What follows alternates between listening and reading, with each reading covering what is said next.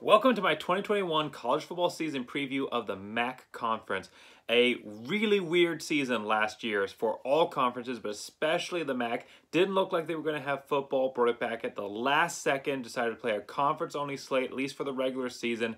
Uh, had a re and, and then it, it, got more surprising from there with MAC teams uh, having to having to really struggle to get ready for a season that they thought was over. Uh, reduced practice schedule, and I think that really helped certain teams and hurt others. We saw huge blowouts throughout the season last year for the MAC, and surprisingly, Ball State, who'd gone five and seven in 2019, won the conference. Showed that it wasn't just a fluke that they could that wasn't just a team that could win in conference. Went out and beat an excellent team for the Mountain West, San Jose State. Of course, San Jose State owning win over Boise State in the Mountain West Championship game.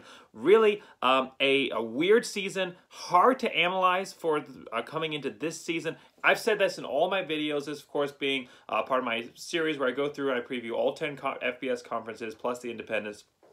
I've said this in all my videos that this is the hardest college football season to analyze, and that is especially true for the MAC because the way things turned out last year, it's hard to tell were teams who had good seasons last year are those teams good now or is that a fluke last year? I think covid helped a lot of the lower end teams be more competitive because the reduced practice schedules I think hurt a lot of good teams uh, by reducing their ability. It, it's kind of like when you have a fine tuned machine, you know, like like, like a really nice uh, a really nice automobile, um, and you throw a uh, you throw a rock into the gear shaft there or into the I don't know cars very well, but you throw you throw a rock into the engine of a really nice automobile, it's going to really screw them up. Whereas if you throw a rock into say an old you know, Ford truck from the 1960s, it's not going to affect them as much. And I think we really saw that last season with the really good teams getting kind of brought down a peg, which made it more competitive, allowed teams like Ball State, who has not been as competitive in the MAC in past seasons, to uh, come out of nowhere, highly motivated, come down the stretch and win that MAC championship game, and of course that win against San Jose State. So hard season to preview for the MAC here. I'm going to do my best. Um, of all the conferences, I think I might be the most off on this one, just because you had teams in this conference um, that played, uh, uh, you know, five or four games, and you know Bowling Green here only playing five games, and then you had and uh, Kent State only playing four, and then you had game teams in this conference. Miami, Ohio only playing three, so same for Ohio, and then you had teams in this conference who went out and played six or seven games or more, uh, and no no comparison besides the bowl season, which most of these MAC teams didn't have bowl seasons, so no comparison outside of the conference, and you just kind of have to go, okay, were teams winning because they were beating each other up and they're not really that good, or were they, or were those teams that were beating up actually pretty good. We just didn't get to see it compared to the rest of the uh, NCAA football. So I'm going to give my best shot here previewing the MAC, um, and I hope that I'm going to be uh, right overall. I've been doing this uh, every year. I've gone through the Athlon Sports magazine. Uh, I've previewed the, in my in my own time, but for myself, I've gone through and I predicted the records overall, and then gone back and checked myself. And every year I've been better than what Athlon Sports predicts. So I figured it was about time to put it up on the channel. So let's get in here. I'm excited. I hope that I'm going to be as consistent uh, consistent as I have been in years past. Uh, but like I said, MAC, a challenging one to preview. I think we are going to see a lot of exciting football coming out of the MAC. Uh, games that I watched last year for the MAC, and I watched a lot of them, were very fun to watch, uh, especially since they played a lot of those games uh, during the you know during the week, uh, or allowed allowed kind of themselves to have a spotlight shown on them, and really got a chance to watch some uh, fun MAC football, which always has been fun. The MAC often playing during the weekdays like that.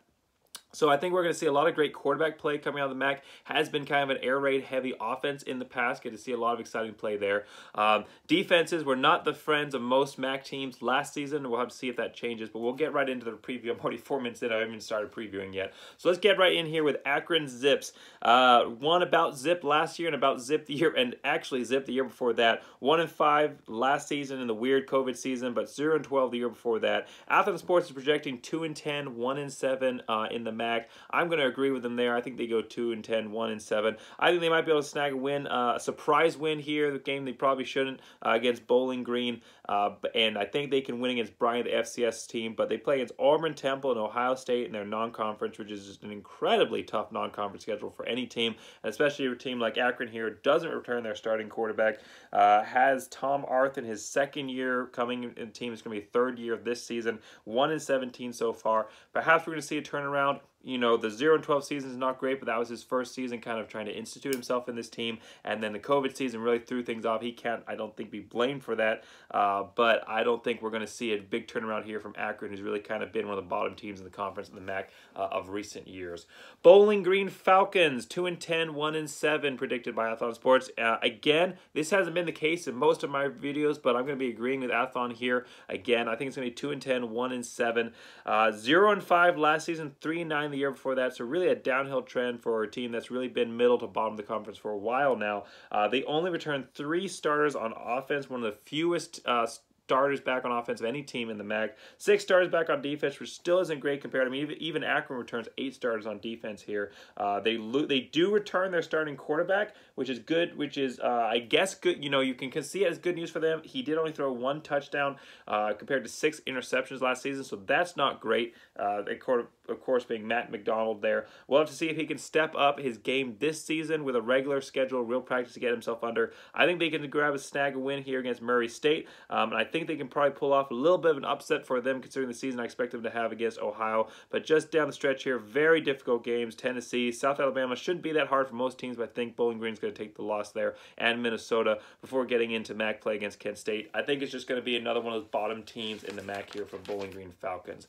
Buffalo Bills, 9 and 4, 6 and 2. Uh, of course, losing their head coach going off. Um, Lance Leipold leaving to go become the head coach at Kansas, accepting that head coaching job. Uh, so new coach this year for Buffalo, going to have to see that. And that was a last minute decision. I mean, even Athlon Sports here has Lance Leipold listed as the Buffalo coach. So he's not anymore. He's gone off to Kansas. Um, and I apologize. I'm not entirely sure who took over the coaching reins here at Buffalo. Uh, really something I should have looked up. I didn't realize Athlon Sports hadn't updated it here. Uh, but whoever it is is going to is taking over a pretty good team, a team that went 6 1 last year.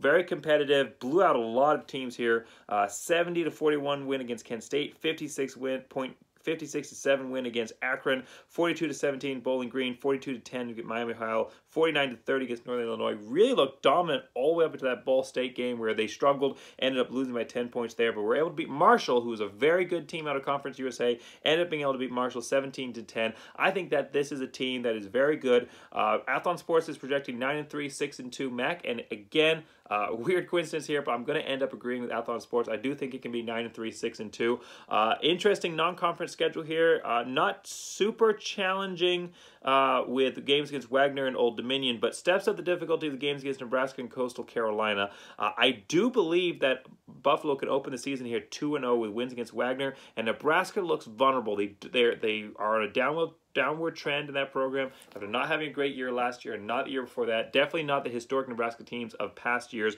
Buffalo only returning five starters on offense, but they do have their starting quarterback back who threw for over 1,300 yards last year. An outstanding job for him. I think that Buffalo, they're going to have to go play at Nebraska. It will be an upset in terms of a Power 5 win there, uh, but I think that they can go get that win. Now, they're going to have to play Coastal Carolina, who had an incredible season last year, is actually ranked in the top 25 at number 22. Uh, would be a huge coup for, coup for Buffalo if they could pull off a win against Coastal Carolina. Going to be one of the competitors there for the New Year's Six. I think Coastal Carolina is going to get the win here. It's just a very tough team to play. Even though it is at home for Buffalo, I think Coastal is going to grab this win. I think uh, Buffalo is going to go on a big winning streak here against a lot of MAC teams. Wins against Western Michigan, Ohio, Akron, Bowling Green, Miami, and Northern Illinois. Now, I do think, and it's not because I think that they are a better team uh, playing against Buffalo here. But I do think that at some point in this season, consistency has been a little bit of an issue in the past. Of course, going eight and five in 2019, and I think that Buffalo is not quite as good as that six and one record that they showed last year. I think they took advantage of a little bit of COVID there, and of course, new head coach coming in here for them. So I do think they're going to drop a couple of games that they probably should win. I think one of I'm not sure exactly where it's going to come on schedule, but just for uh, purposes of putting that digit on there, that loss on there. I'm going to say Kent State has a chance here to pull off that win. Going to have to play at Kent State, a team that returns eight starters on offense, um, and two, including the starting quarterback and running back. Not a, and we're going to preview them next, but I'm going to say not a team that I think is going to do uh, great overall, but I do think they have a chance to upset Buffalo here. Um, if they don't lose to Kent State, I think they'll drop a game somewhere else, one that they probably should win.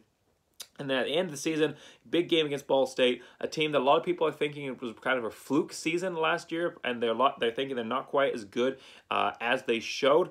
I'm not so sure about that. We'll get a preview when we get to them, but I think Ball State's going to be able to pull off a win here, especially having to go play at Ball State. Going to be highly motivated. Uh, could be an interesting determiner there. Might be a chance to play for a conference championship game. Could be on the line. It's going to be an exciting end of the season there before we get into conference championship season and into the bowl season there. So uh, I think another deep, pretty good year overall here for Buffalo. Exciting year, uh, especially for a MAC team. Uh, coming off of a 6-1 season last year, but 8 and 5 in 2019. So 9 3 6 and 2. I'm pretty excited to see what Buffalo can pull off here, especially with a new head coach. Um, and I'll throw the new head coach's name in the com in the description of this video. I really apologize to any Buffalo to any uh, Buffalo Bull, Bills sorry, Buffalo Bulls fans. I really apologize to any Buffalo Bulls fans for not having that ready to go. That's on me. All right, Kent State Golden Flashes, uh, three and one last season. Uh, so pretty decent year considering they only played four games. They won three of them uh, against Akron, Bowling Green, and Eastern Michigan with a pretty heavy loss to Buffalo. So definitely not the cream of the crop as far as the wins they got last season. Seven and six a year before that. I'm going to say they're going to return close to that kind of middle of the pack, bottom of the pack level for that they have done in the past. Athlon Sports is projecting six and six, five and three. I think it's gonna be a little bit worse than that. I think gonna go five and seven, four and five. Uh, as far as the MAC play there goes, I think they're going to drop that first game to Texas A&M. They'll drop games to Iowa and Maryland. Outstanding non-conference schedule for Kent State here, by the way, but it's going to be very difficult. They can pick up wins against VMI. I predict some wins here uh, along the season. I think they can get wins against Bowling Green, Northern Illinois, Central Michigan, and against Akron. Uh, I do think they're going to be motivated to try and make that six and six record. I do think that's possible for them here, but I think they're going to drop that last game to Miami, Ohio for a little bit of a disappointing season for Kent State coming in here. Uh, of course, their head coach coming into his fourth season. They do return a lot of starters on offense, so could be a chance to kind of turn things around. But after having a little bit of a disappointing season last year, I think they're be much closer to that um, kind of middle of the pack, lower end team that they were in 2019.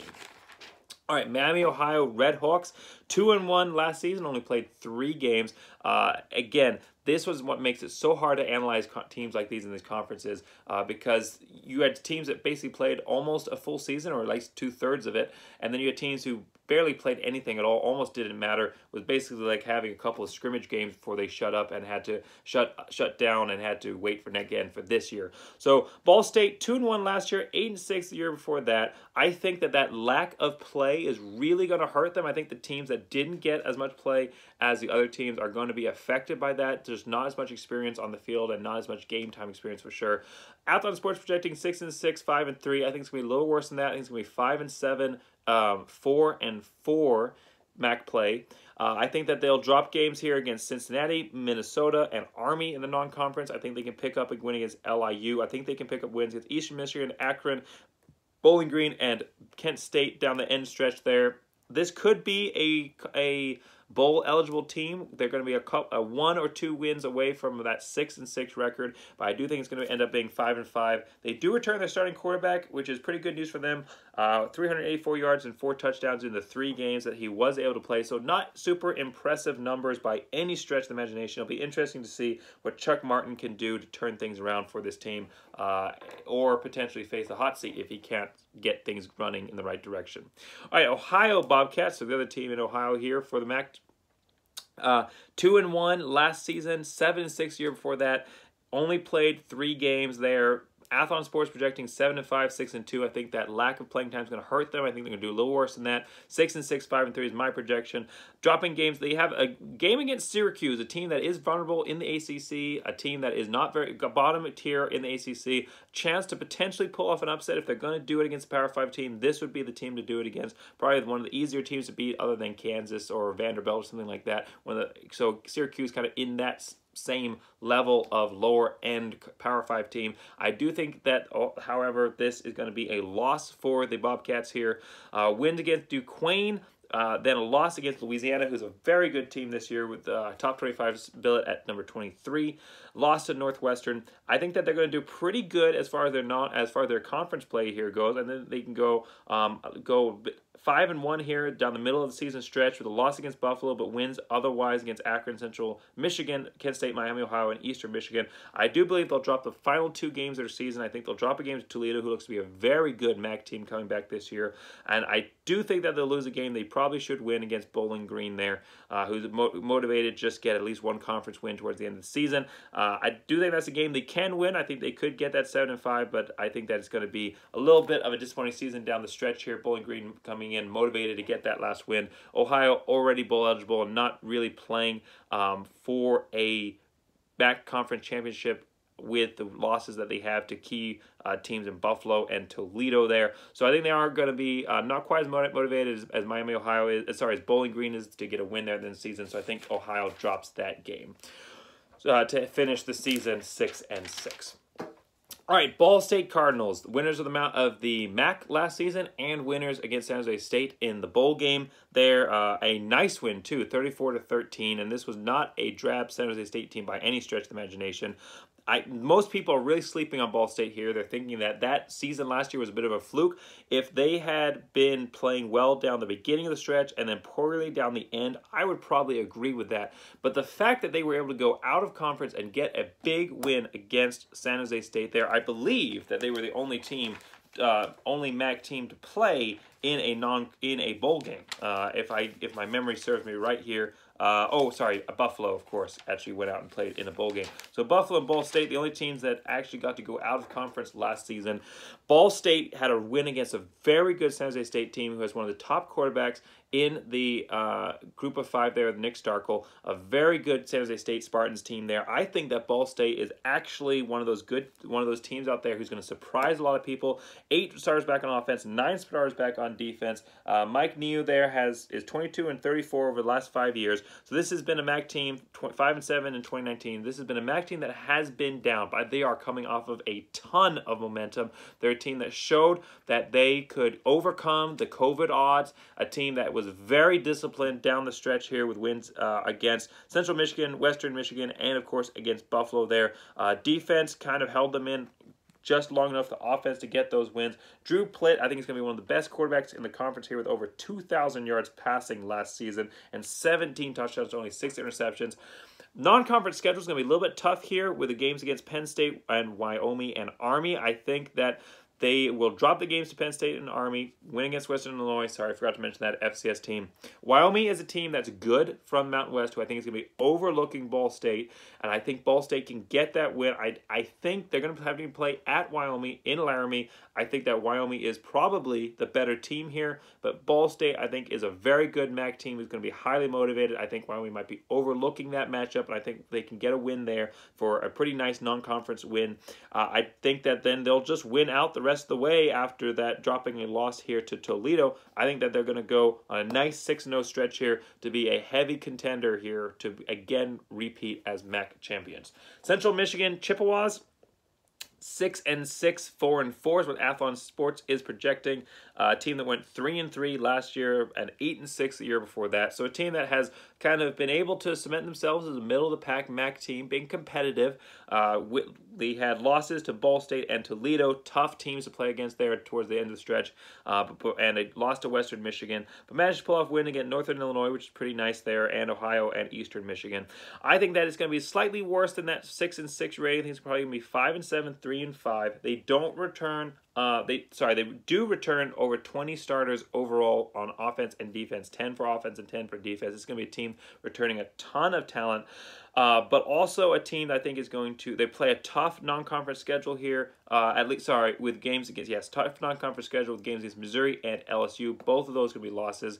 Uh, they can pull off some wins here against Robert Morris and FIU. Not shouldn't be too much of a challenge there. But Ohio, but Toledo looks to be very good. Ball State looks to be very good, and I think that Central Michigan is still a few seasons away from being able to capture some consistency there as a team overall. I think they'll drop a couple of games that they should win uh, just in this kind of return to regular format here for the season. Um, I'm going to say those those losses are going to come against Ohio and Kent State, but they could just as easily come against uh, Miami, Ohio, Northern Illinois, uh, or Eastern Michigan. So a little bit of a disappointing season, I think, for Central Michigan in the cards here, especially after uh, their quarterback was only able to throw for four touchdowns last season, uh, though their running back was able to rush for over 500 yards, which was a nice job by him. But this is a team that I think, even though they returned a ton of starters, is not necessarily a team that was that great last year. We'll have to see if those starters take a step forward, but I think it's probably going to be a little bit of a disappointing season there for the Chippewas.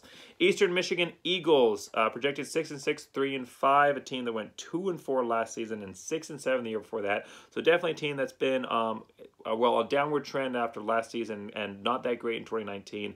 Uh, six and six, five, three and five is what Athlon Sports is projecting. I think it's probably going to be a little worse than that. Five and seven, two and six. Uh, they do return nine starters on offense, but lose uh, their starting running back there, which I think is going to hurt them. They do uh, play a pretty easy non-conference schedule besides the game against Wisconsin. They can pick up some wins here against St. Francis, UMass, and Texas State. Shouldn't be too much of a challenge for them there. Um, I think they can grab their first MAC game, their first uh, conference game here. I think they can grab a win against Northern Illinois. But I think it's going to be a pretty uh, heavy road to travel down the last few stretch games here. Uh, with losses in my prediction against Miami, Ohio, Ball State, Toledo, Ohio, Western Michigan, and Central Michigan. Uh, pulling off a win against Bowling Green, and if they can pull off one more win down the stretch, they're going to be highly motivated too because it would get them bowl eligible. I could definitely see them going six and six, but just the way that I'm stacking up the wins and losses in this column, I don't think it's going to end up happening. But we'll see. I hope that uh, the Eagles here are able to surprise me, uh, and we'll see what ends up happening. Northern Illinois team that went 0 and 6 last season and 5 and 7 the year before that, nowhere near the level of the Northern Illinois teams in the past that were the Northern Illinois team, of course, memorably going out and with playing in that uh, New Year's Six game a few years back. Well, not that many years back, um, every year they uh, gets further and further away, but it still seems like yesterday to me with the way uh, things are going. But three and nine, two and six is being projected here by Athlon Sports. I'm going to say that's probably correct. I think three and nine, two and six is fair. They lose their starting quarterback. This was a team that was not very good last season and not good at all in 2019. Uh, tough non-conference schedule with games against Georgia Tech, Wyoming, and Michigan. I think those will all be losses. Though Georgia Tech is the most vulnerable of those teams. Uh, game against Maine, FCS teams should be a win, and I and they can pull off wins against Bowling Green and Kent State, but losses across the board. Otherwise, uh, we'll just have to see. Thomas Hammock coming into his third year has been a pretty a disappointment here for the Huskies, who are used to having a decently high level of success and being one of the top teams in the MAC. Uh, we'll have to see if either he can pull it around, Hammock there being able to pull it around, uh, going forward, or if a change of coaching staff is necessary to bring Northern Illinois back to being one of those top teams in the MAC that can compete for near six games. All right, that brings us to Toledo Rockets. Toledo Rockets, 6 and 6 in 2019. Uh, Jason Candle, 38 and 21 over five years. A team that went 4 and 2 last season with losses against Western Michigan and Ball State. This is a team that returns 11 starters on offense. 11 of them. 11 starters on offense. They do lose their starting quarterback there, um, and they do lose on defense. They do lose a starting defensive end and uh, and and a down lineman there. But overall, they bring back 10 players on defense and 11 players on offense. They had multiple players in the offensive line that got starts. That's how they get that number there for 11 back on offense.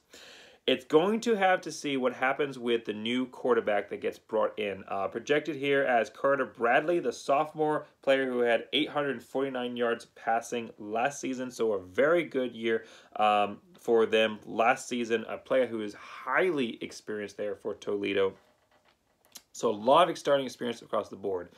I think this is going to be, and the reason I'm slowing down here is because I am going out on a limb here for Toledo. Athlon Sports is rejecting 8 and 5, 5 and 3 MAC conference. I think that it's going to be a very good season for Toledo. With the amount of stars they have back, the type of team that Toledo has been in the past with a very explosive offense, and the fact that their running back who had over 500 yards rushing is back, and Carter Bradley, who had an excellent season last year, uh, even though he's not the returning starter per se, uh, Athlon Sports highlights the teams, the players on each team with the high, with the uh, which is a returning starter, and they don't list him as a returning starter there. Um, so not necessarily a returning starter there, but a team who had a couple. Carter Bradley made a couple starts in 2020 uh, to back to uh, battle with Tucker Glean and Dequan Finn and Gavin Hull for the starting nod. Uh, Bradley threw for career high 432 yards against Central Michigan last season. So there's the explanation there. Of course, all Rockets fans already knew that, but I needed a little bit of a refresher. I think that he is a good quarterback who's shown prowess. I think that this is a team that is returning a lot of players on offense and defense, and a team that plays a pretty easy non-conference schedule and a decently across the board easy schedule here within the MAC, uh, not having to uh, play some of the more difficult teams here. I think that Toledo can go 11 and 1, 8 and 0. I think that wins against Norfolk State, Colorado State, and UMass are definitely in the cards. That Colorado State game might be a little more challenging than is projected, but Colorado State is going to be a down team in the Mountain West this year. They're going to be bottom of the conference, so I don't think that should be too much of a challenge. They will drop that game to Notre Dame. I don't think that there's they're at the level of being able to beat them, but they play a very easy schedule here. Um, Ball State is going to be a challenge. That's going to be the determiner. That's where I could see a loss coming. But with games against Northern Illinois, Central Michigan, Western Michigan, Eastern Michigan, Bowling Green, Ohio, and Akron, I just don't see any conference losses here besides Ball State. I don't necessarily think that this is a team worthy of an 11 1 record, even though they have so many players back. They haven't shown that those players necessarily at the level of being worthy of that 11 1 record. But I just don't see where the losses are going to come in. So I think that this is a Toledo Rockets team that's going to drop a game into Notre Dame and then have an exciting season for Rockets fans down the stretch. And maybe by the end of the season, they'll be a team that has gotten to, has gotten to a level, has become good enough to be worthy of that 11 1 record that can go out um, in some kind of bowl game matchup, maybe a really really good bowl game matchup. Uh, hang around. Make sure you like and subscribe. I'm going to be putting out a video here once I'm done my series talking about the teams that are contending for the New Year's Six I'm giving my projection there for which team I think will win the, or get to the New Year's Six bowl bid. So this could be a team that is playing for something very special, and maybe by the end of the season they'll gotten to a point where they can go out there, play in a MAC championship game, and then go out on the national stage and play competently We'll see. But like I said, super easy schedule besides that game against Ball State. That's going to be the real challenger for this team. Other than that, I think they a team that can go 11-1, 8-0. Uh, I'm kind of pushing up against my time. I got one more team here, so I'm going to go through them real quick. Western Michigan Broncos, 3 and 3 last season, 7 and 6 the year before that. So a team that's been uh, on a little bit of a downhill slope uh, compared to uh, Western Michigan teams in the past. Projected 6 and 6, 5 and 3 by Athlon Sports. I think that's fair. 6 and 6, 5 and 3. Eight players back on offense. Um, they do return their starting quarterback, so that's always good news for a team. Uh, threw for over 1,700 yards last year. I do think they'll drop a couple games here in the non-conference against Michigan, Pittsburgh, and San Jose State. I think those all be losses. San Jose State, of course, being a great uh, Mountain West team. I think again this season.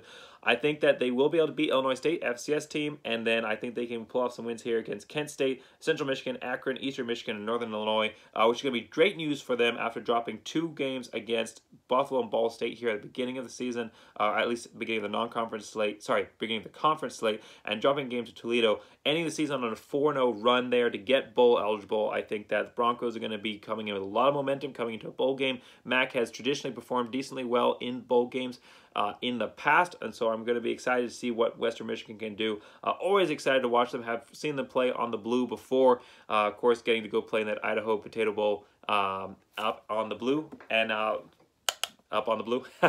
uh, be exciting to see what they can do finishing down the stretch. I think this is a team uh, that's going to have a pretty exciting end of the season after looking like they might not go bowl eligible there during the middle half of it. So six and six, five and three, uh, pretty, the, pretty decent year for Western Michigan as they again become one of those middle teams in the MAC as they try to get back to a team that can compete for MAC championship games. All right, so where does this leave us overall? Where does this kind of put predicted order of finish here? Uh, Buffalo, this is what Athlon Sports is projecting. Buffalo number one, Ohio number two Kent State number three, Miami number four, Akron number five, and Buffalo Green number six. Uh, I'm going to agree with that all the way down the stretch, uh, at least for the East Division here. One, two, three, uh, sorry, one, two, uh, for Buffalo and Ohio. The one change I am going to be making is I think Miami, Ohio will finish number three, but then Kent State number four, Akron number five, and Bowling Green number six. Now in the West Division, I think it's going to be very competitive. I think there's going to be a lot of close games here. There's going to be a real determiner on which team's going to get that slot to represent the West Division of the MAC. Uh, Athlon Sports is projecting Toledo number one, Ball State number two, Western Michigan number four, three, sorry, Central Michigan number four, Eastern Michigan number five, and Northern Illinois number six. I think that Toledo is going to even though this is a Ball State, Ball State team that I think is going to be coming back with a lot of talent and can definitely go out there and beat that Toledo Rockets team, I think that this is a Toledo Rockets team that we've seen in the past be highly motivated to win games. I think that this is a team that's going to be coming in uh, with another chance to have another exciting season, especially after a decently pretty good non-conference slate there other than that loss to Notre Dame. I think that uh, Toledo will hold the win against Ball State to keep them at number one. Really, whoever wins that Toledo Ball State game, I think, is going to be the winner of the West Division here. So I'm going to agree with uh, number one slot for Toledo, number two slot for uh, Ball State, number three for Western Michigan, number four for Central Michigan. The one change I'm going to make, i am going to move Northern Illinois to five and Eastern Michigan move to six. So Athlon Sports is projecting Buffalo over Toledo in the MAC championship game. Now, while Buffalo, I think, may end up being the better team here, I think that it's going to be Toledo over Buffalo in the MAC championship game. The reason I think that is I think Toledo's going to be coming in with a lot of uh, momentum, and I think they're going to be in a position to play for something big, which is going to, of course, impact how they then play in that championship game. They're going to be more motivated to win this game. I think Toledo, like I said, going coming in with an 11-1 record. Buffalo 9-3. Buffalo, I don't don't believe to be a contender for that New Year's Six game, but Toledo just might be. So the way how that game ends up going out might end up being determined really by outside factors. If Toledo's in a spot where they're in the contention, in the conversation for that New Year's Six game, they might end up being a team that wins this game. Um, if they're if they're out of it, if they're too far down the rankings that they don't have a shot, Buffalo might have a chance of coming in and getting this win. I really think Toledo's going to be playing for something special. Make sure, again, uh, MAC fans in general, but especially Rockets fans, that you like and subscribe so you don't miss out on that video where I discuss uh, potential path to New Six here for a group of five teams. So that concludes my video. Thank you for listening to me. Uh, like I said, make sure you like and subscribe. It's not all Boise State Conference, uh, Boise State content. I do do other, um, sorry, I do make other uh, football content throughout the season uh, relating to college football as a whole. Uh, so thank you for listening to me as always, and go Big Blue.